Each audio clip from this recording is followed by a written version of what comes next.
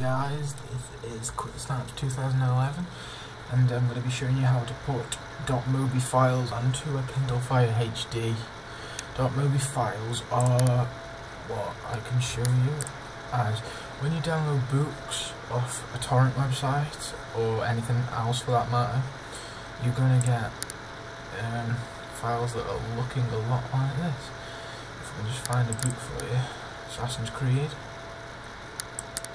you're going to get uh, a lot of these. You get the cover. Um,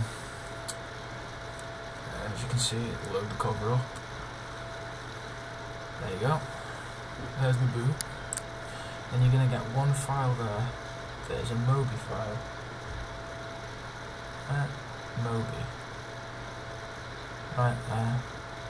What you want to do is open your Kindle and you have it connected so it'll be here.